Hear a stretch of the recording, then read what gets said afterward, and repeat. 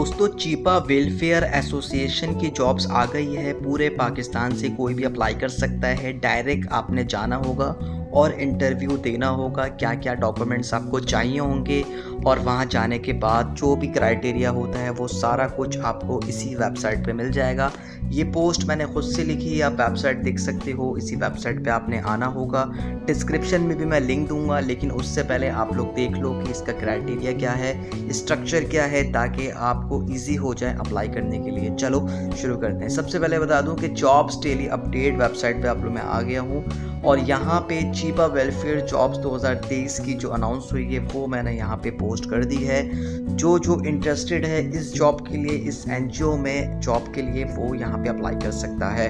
Apply करने का तरीका जो है, वो स्क्रीन पे अभी मैं आपको समझाऊँगा और आपने इसको प्रॉपर देखना होगा।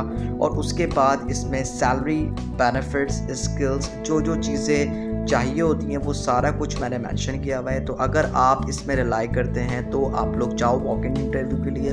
और अगर आपको लगता है कि इनमें से कोई भी चीज़ आपके अंदर नहीं है या कोई भी चीज़ आपको लगता है कि वो मैं अभी कर रहा हूँ कंटिन्यू है, लेकिन वो कंप्लीट नहीं है तो आप लोग फिर ना जाओ, आपका टाइम ज़ाया होगा। तो Chhipa welfare association job 2023 in Pakistan की जो मैंने ये पोस्ट अभी लिखी है, इस पर आप लोग देख सकते हो टेबल ऑफ़ कंटेंट में आपको सारी चीज़ें मिल जाएँगी, जिसमें आपकी एजुकेशन है एक्सपीरियंस है स्किल्स है सैलरी है बेनिफिट्स हैं और सारा ए टू जेड इसको देखना है।